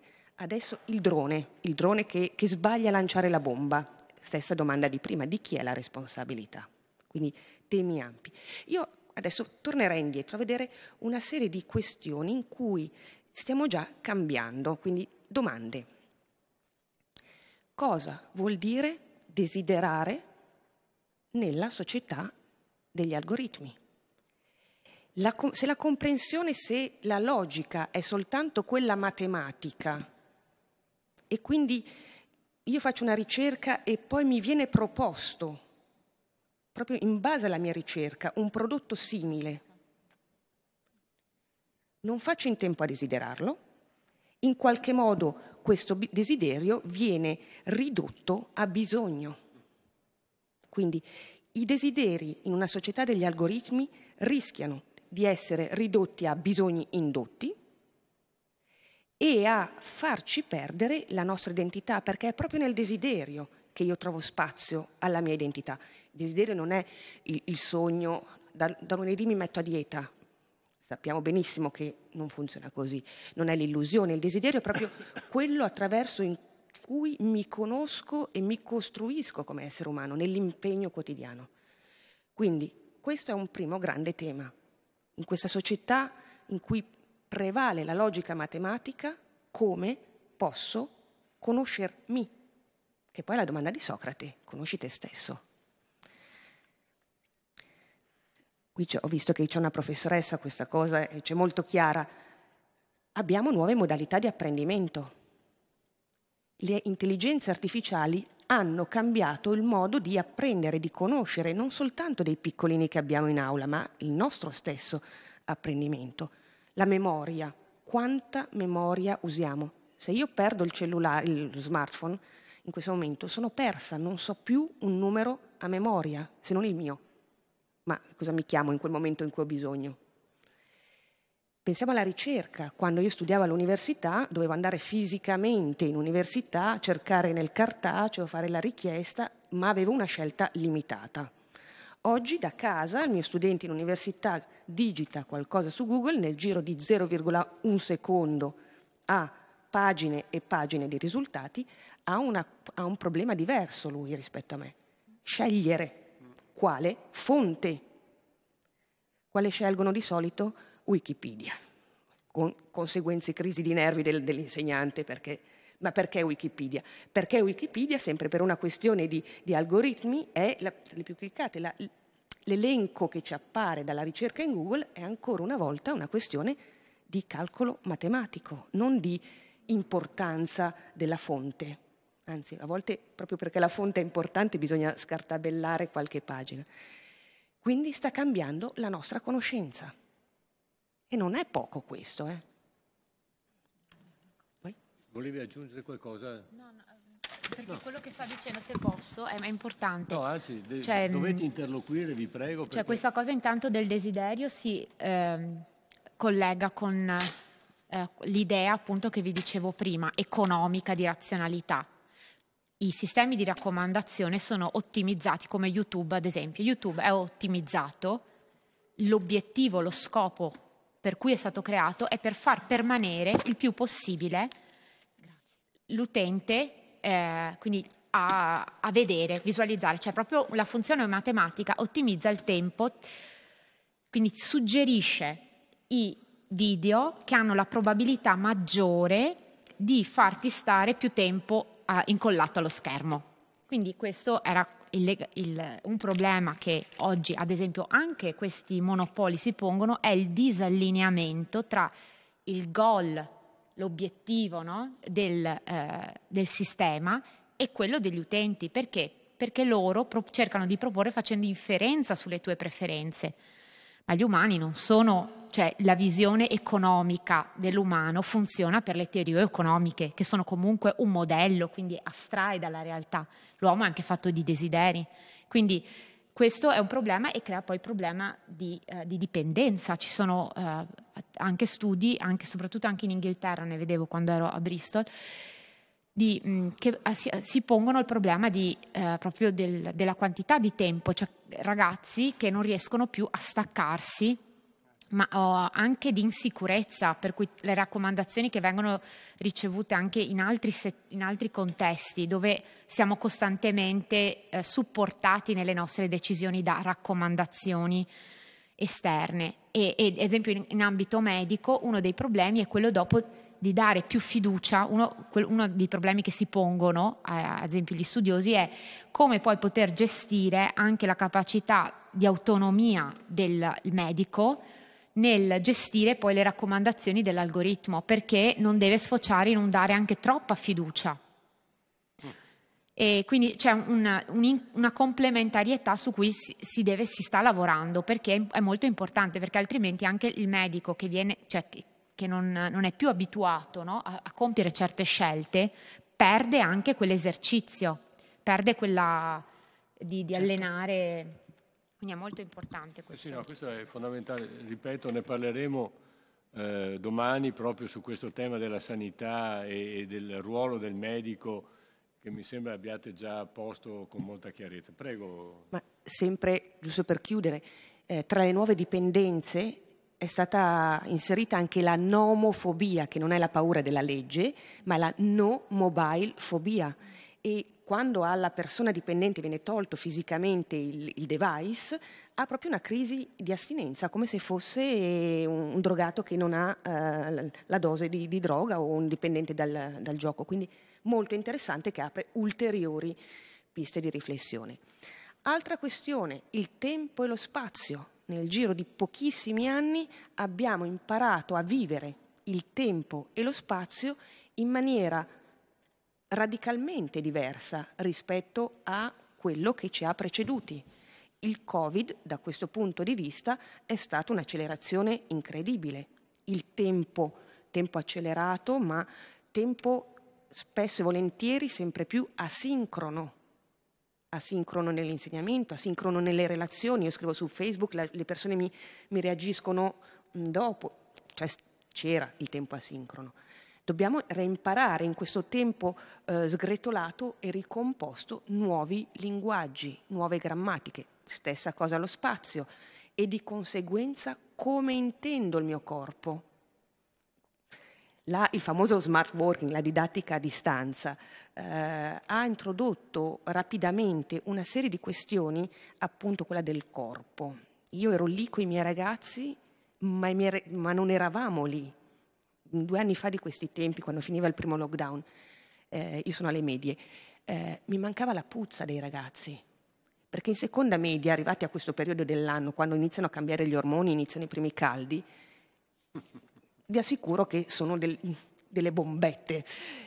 Ma anche quello faceva parte della didattica, faceva parte della mia relazione con loro. Invece li vedevo in 2D, in quadratini, in qualche modo sono entrati in casa mia. Mai avrei fatto entrare uno studente in casa mia. Però non sono, non sono, sono entrati, ma non sono entrati. Dobbiamo reimparare, eh, dobbiamo imparare proprio da questa nuova concezione di spazio, tempo. Io sono, sono, molto, eh, sono, molto, contento di questa, di questa dire, accezione che voi due, tutte e due, adoperate di etica, perché in genere l'etica viene fraintesa come una sorta di eh, elenco normativo delle cose da fare e da non fare. No? Eh, di, di, cosa ti occupi? Di etica, allora tu mi dici cosa devo fare, cosa devo fare. Non è così, non è così. Perché l'etica, come avete dimostrato voi, è come dire, la disciplina, il pensiero dello stare al mondo. No? Come faccio a stare al mondo? Allora, in questa situazione ho una tecnologia che fa parte del mondo in cui io devo stare e quindi devo fare i conti. No? E questo è l'etica nel senso profondo del termine, altro che regole, altro che eh, sommatoria di doveri o di principi, è capire il mio comportamento di fronte all'innovazione rivoluzionaria, dice Floridi, eh, di, di, di questa tecnologia. Quindi anche questo mi pare importante, un'acquisizione. Parlare di etica vuol dire parlare di stare al mondo attraverso anche quello che il mondo mi dà in questo momento, cioè eh, la, la, tecnologia, il device, eh, le, le... una volta c'erano le figurine panini, adesso ci sono le figurine di Facebook. Quindi mi pare importante questo, grazie. No, assolutamente, l'aspetto normativo è soltanto la punta dell'iceberg, esatto. purtroppo quella che ci dà poi un, a chi studia morale, quindi il moralista, un'immagine negativa, sempre quello pronto a puntare il dito. dito. Altra questione, cosa intendiamo oggi con libertà, libero arbitro? Ha già parlato la professoressa di, di predizione, ci aggiungerei la profilazione che spazio di libertà. Ha fatto l'esempio del, eh, degli studenti.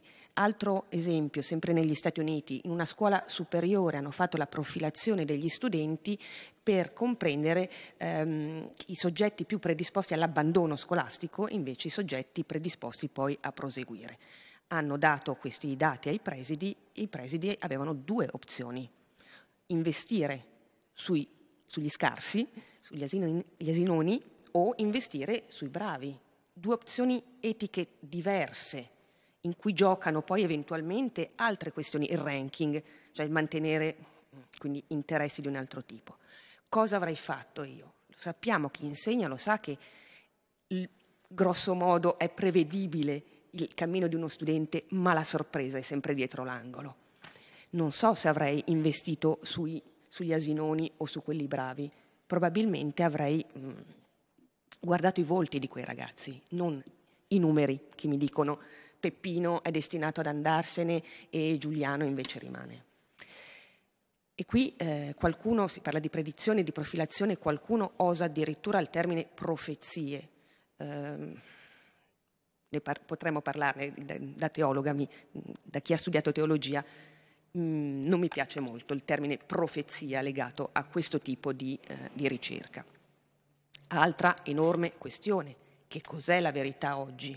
Abbiamo visto che se la logica è quella numerica, se viene eliminato l'aspetto simbolico, narrativo, se è tutto misurabile e calcolabile, che cos'è la verità? È soltanto misurabile e tipologica, appunto l'esempio di prima, eh, sei un uomo caucasico, quindi tu sei una donna di colore eh, del Bronx, quindi tu che idea di verità giochiamo in questa riflessione? L'efficacia, l'efficienza da milanese poi eh, sento molto pesante, eh, vale solo ciò che rende, che dà il miglior risultato o vale il percorso? C'è davvero una dittatura del calcolo? Ma che cos'è il meglio? La soluzione più rapida, la relazione la, la più economica, quello che genera più umanità. Allora lascio con l'ultima slide, poi si può continuare senza slide, vi lascio questa domanda. Attenzione, programmare, programmare una macchina è anche programmarsi in qualche modo. Nel momento in cui si programma una macchina, si programma poi anche un certo tipo di relazione o nel momento in cui io educo qualcuno, mi educo, nel momento in cui comprendo l'ambiente in cui sto, mi comprendo in questo esempio.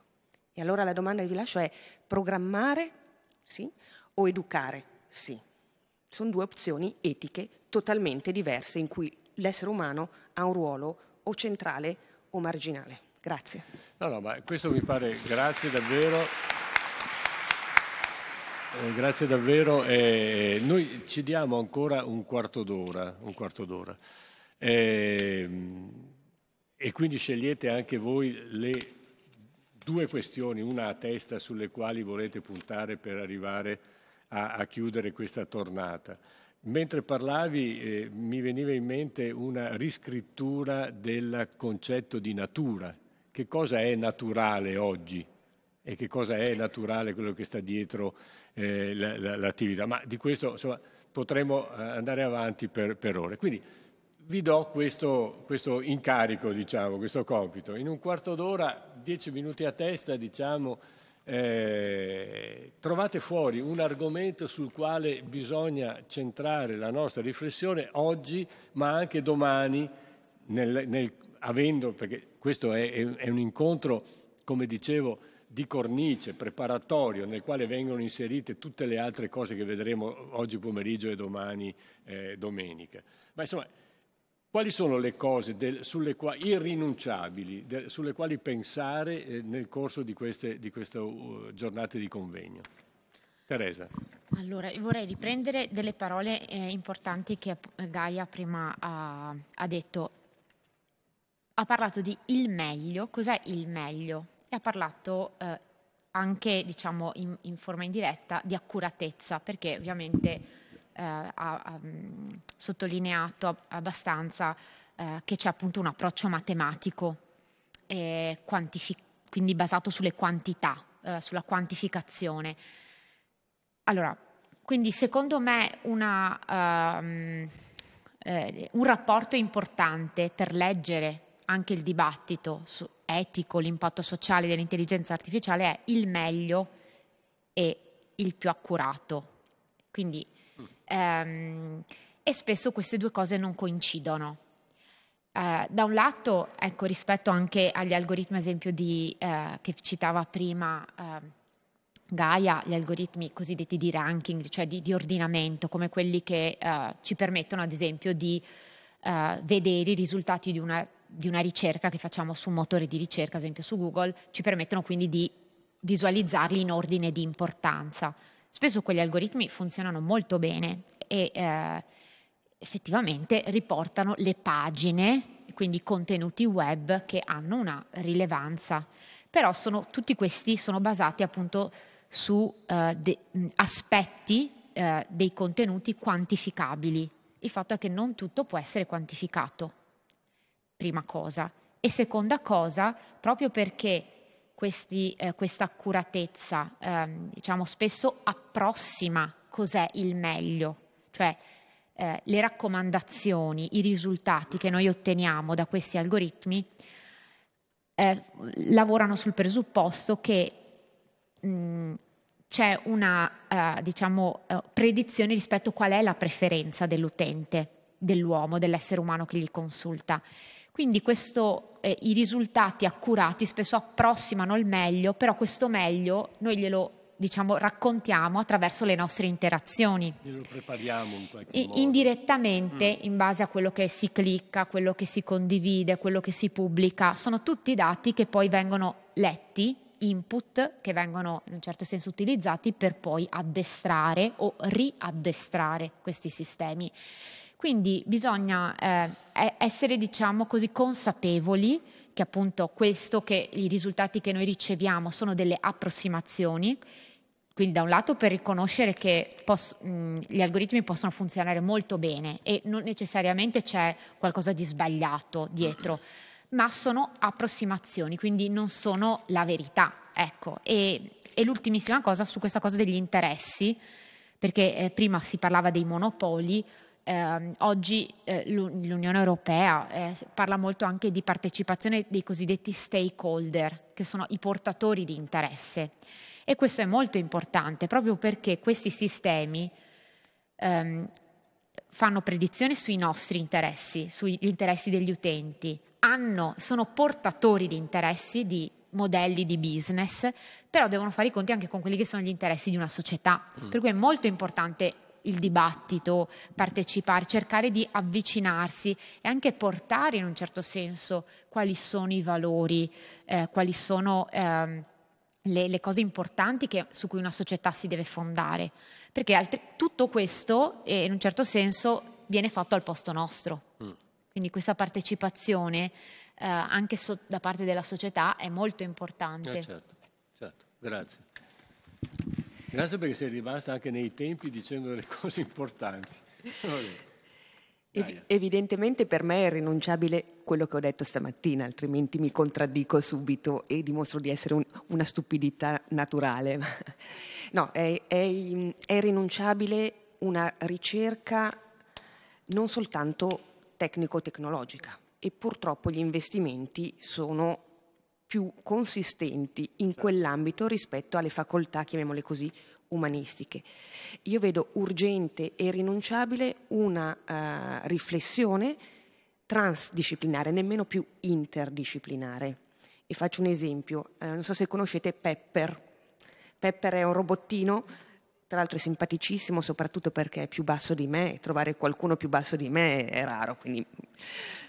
Pepper è un robottino, oramai inizia ad avere dieci anni anche lui forse, ha la sua età anche lui, insomma, eh, capace di riconoscere le emozioni e in grado di rispondere con con emozioni, tranne la rabbia, quindi è programmato per non rispondere con la rabbia, e si stanno facendo degli esperimenti per soprattutto inserirlo nelle case di riposo. Ecco, Pepper è cattolica, ogni tanto è da noi a Milano, ogni tanto è a Brescia perché la facoltà di matematica è a Brescia e su Pepper le facoltà stanno facendo un lavoro davvero transdisciplinare in cui questa complessità che anche nel, eh, nell'introduzione è emersa più volte, questa complessità non è più eh, la parola, eh, lo spauracchio, il termine di moda, ma è davvero un cum plexus, che vuol dire un abbracciare insieme e trovare insieme mh, soluzioni eh, non soltanto appunto umanistiche, non soltanto tecnologiche, non soltanto matematiche, ma proprio un, un, uno stare insieme, un confronto reale. Pepper eh, è un esempio sul campo. Ecco. È interessante questo che per parlare di questa tematica che sembra una tematica molto spirituale, questo del, dell'abbracciare, dell'intersecare le competenze, dell'intersecare i saperi, dell'intersecare la vita, si usi un esempio come Pepper che andrebbe bene in un aeroporto che so che magari ci stanno pensando anche a Treviso forse di mettere Pepper in aeroporto al posto di qualche d'uno che eh, così potrebbe essere una soluzione eh, interessante. Però questo mi pare avvincente, no? questo fatto che eh, le, eh, non possiamo lasciare la tecnologia da sola, ma non possiamo nemmeno lasciare da solo nel vuoto pneumatico la riflessione filosofica, la riflessione etica, bisogna calarla nella concretezza delle cose del quotidiano, no? della, nella durezza delle, delle, cose del quotidiano. E mi pare che con l'intelligenza artificiale siamo chiamati a fare i conti con queste robe qua. Nessuno può chiamarsi fuori né dicendo io faccio solo il programmatore e me ne sto per fatti miei, oppure io faccio solo il professore di etica e me ne sto per fatti miei. Questa è una, eh, una questione estremamente interessante. Vi ringrazio per essere rimaste nei tempi e, e davvero eh, se, dovessi utilizzare ancora questi tre minuti eh, mi espongo eh, chiedendo se qualcuno ha una domanda. Una, ma una domanda è non una riflessione, non una, una domanda. Ora o mai più vi ringrazio. Ci vediamo oggi pomeriggio, se eh, mi piacerebbe che ci foste, a Villorba e anche domani, domenica, sia mattina e pomeriggio. Io ringrazio le nostre relatrici con un applauso. Sì, facciamolo perché... Grazie, grazie. Grazie.